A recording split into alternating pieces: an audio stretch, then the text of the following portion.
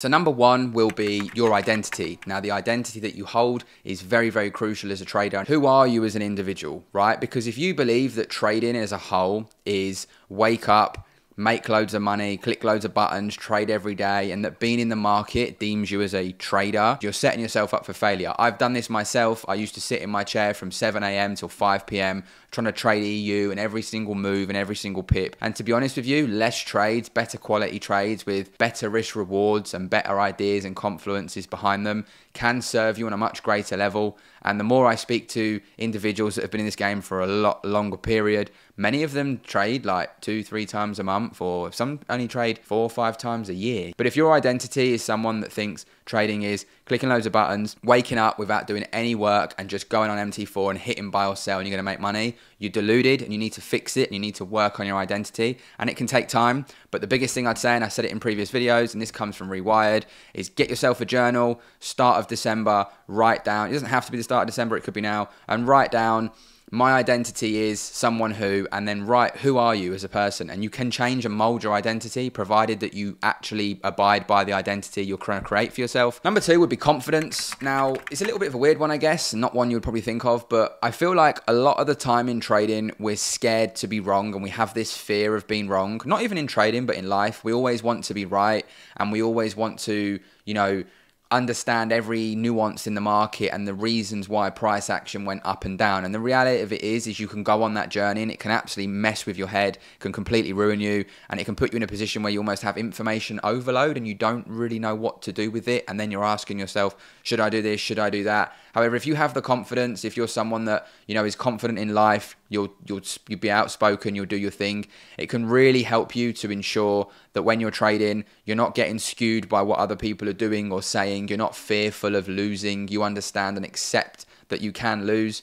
And this kind of leads me into number three. And I think number three will be accepting that you're always going to lose and you have to just move on from it. No matter what you do, no matter what course you take, no matter who you learn from, I am yet to meet anybody with a 100% strike rate consistently. You may have months where you don't lose, you may have weeks, you may even have quarters, but I guarantee you now, you will lose in trading. And until you can understand that, and until you can accept that, you are just going to forever go round and round in circles because you're looking for something that doesn't exist. Every single person that's stuck, every single person that's trying to find that secret thing, you will forever be stuck you're going to have periods of consistency and then boom, you're going to lose it. And it shouldn't be like that. Confident trades come from a confident mind. Having the confidence to say, look, this is me. I'm going to get in this because I back myself and I'm not bothered if I lose and accepting that loss is, is crucial. It's just a quick one. Today's video is brought to you by Darwinex. If you're yet to check out Darwinex, I don't know where you've been, but clearly you need to get involved. It's literally the price of a Nando's a month, which, let's face it, all of you are smashing Nando's on the regs. So I don't know what you're waiting for. It's a great way to not only build a verified track record, but also you can attract investors, you can get investor capital, and you can get allocations from their Darwinia, which is also an incredible way to make extra money. You can simply link this to a trade copier. There's a link in the description. Let's get back to it. The market's inevitably going to knock you down, and without resilience and without the courage to get back up and go again, it's going to be very tough. And I understand sometimes you can be going round and round, you can be doing your routines, you can be being in there, showing up every day, turning up to the market and it almost feels like it doesn't care. It's almost just shafting you and you're like, when's it going to give? When am I going to get some kind of positive outcome that's going to boost me to continue. It will come as long as you remain resilient and you stay on plan and you stay in focus and you stay disciplined and you just do the things that you need to do every day. We're very quick to judge those little things that we perhaps neglect and think, oh, that didn't mean anything. That didn't add up to my success. Only when you stop doing those little things, you very quickly fall off. And again, I've experienced this in my own life.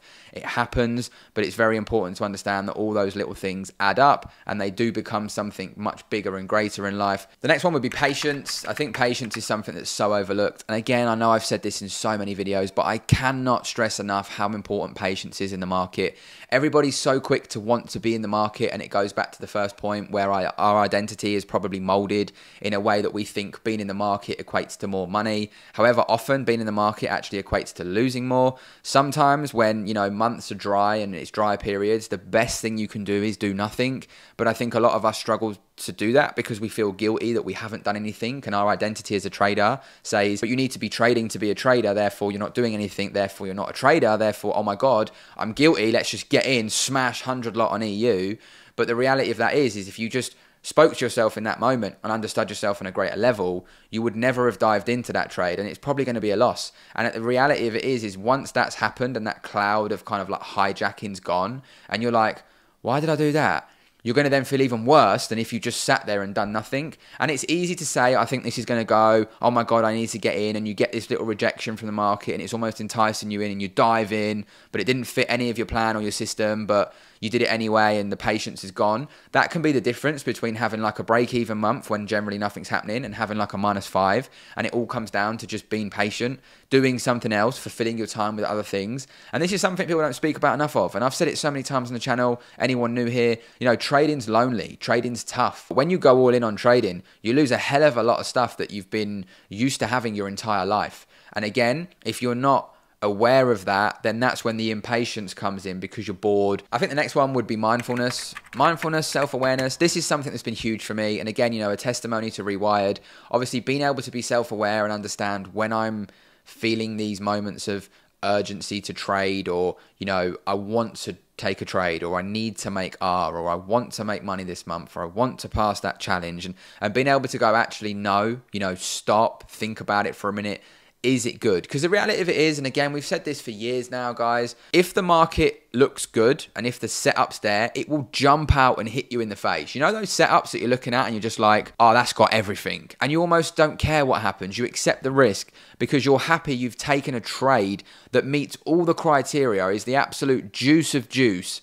And you're like, this slaps, regardless of what happens, I don't care. You can't say that for every trade, right? Because there isn't that many trades that look like that. Now, yes, some, you know, average trades or higher risk trades and they might play out, but across a year, are they actually beneficial to take?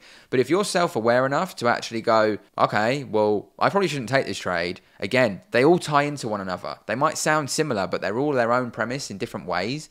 And until you can be aware enough to kind of catch yourself in the moment, I've spoke about it before, and before you click the button, your hand's almost like no, and you go back no, and you're being aware, that thought process to almost just a couple of seconds to stop yourself can be the difference between having a really bad day and a good day. Practice like, you know, meditation, whatever it might be, just to get in tune with yourself more and to understand yourself on a greater level. Obviously, I advocate for Rewired because that was the thing that really elevated me. And it's not just in trading, right? I've had a bit of a hiccup in trading, as I shared a few weeks ago.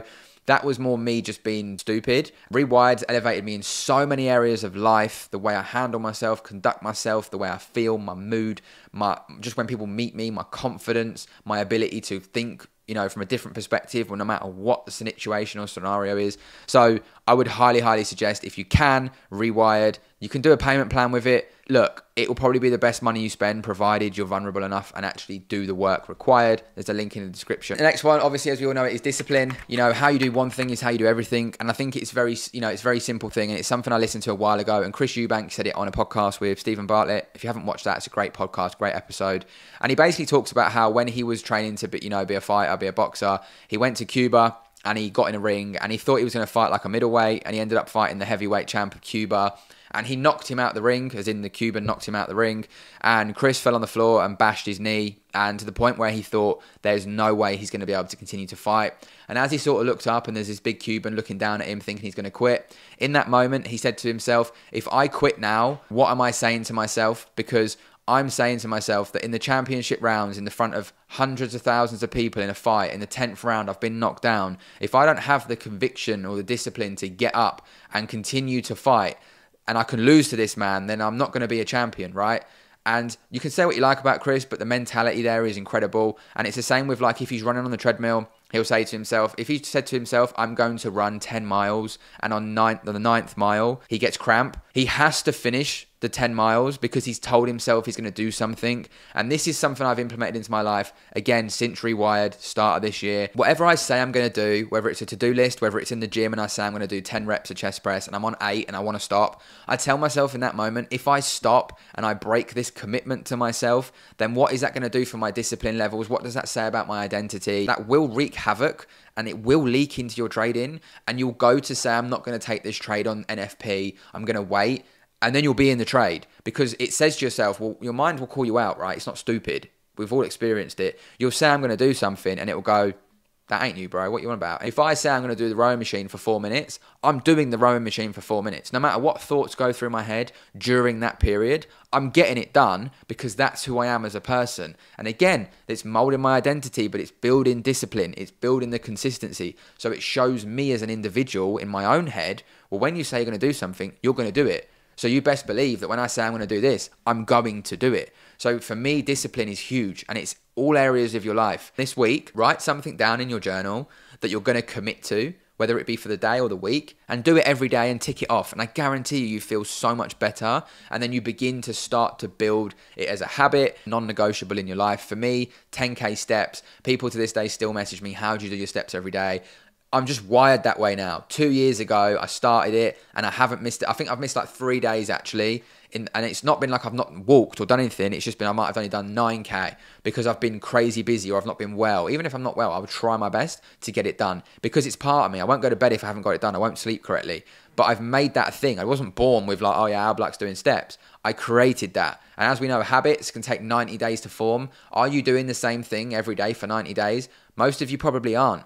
The only thing you're doing consistently is going around and around in circles, scrolling social media and looking for some sort of secret potion. That's now become a habit. It's become a neural pathway that you need to unwire. Last but not least is obviously a consistent routine. Again, this is always frowned upon and some people just want to rock up to the charts or rock up to any part of their life and just, you know, be like, oh, I'm going to figure it out. I've got this. However, I just think realistically speaking, having a set routine to get you into peak performance is crucial. If you look at athletes, they don't just turn up on fight day, rock up to the ring and be like, well, go on, let's have it out. Same as footballers, they all have a specific routine. If you're just turning up to the chart and going, yeah, Wagwan EU is going down, let's go, you're very likely not treating this as that profession. And obviously, everybody says treat trading as a business. You know, what does that even mean? But if you were to start a fresh business, right, and you'd put 20 to 30K in investments into said business, you would treat it correctly. KPIs, you would understand your metric, the profits, the losses, the outgoings, the growth marketing strategy, the way to build and develop that business.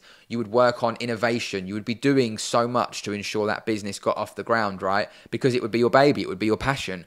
Are you treating trading that way? You're never perfect. And if you've got that stupid mindset of arrogance that you think you're the best and you've completed it, guys, there's people out there that will humble the living shit out of you like that.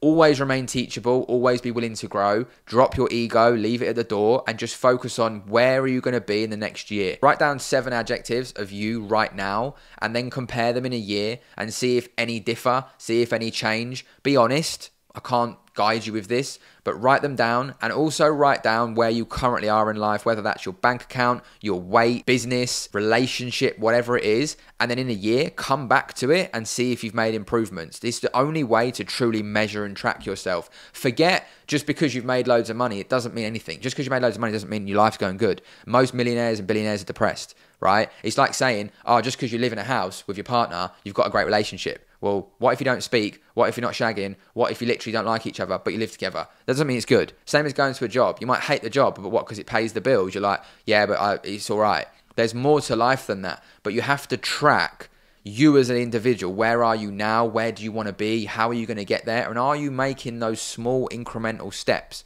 to changing that, to becoming that person. Because if you're not, and you just sat on YouTube or scrolling TikTok or scrolling Instagram Reels, and you're hoping to just come across something one day that changes everything, I'm sorry, but it ain't gonna happen. Let me know what you think are some key points that have helped you in your trading. And as always, have an incredible day, smash the rest of your week. Peace and love, gang.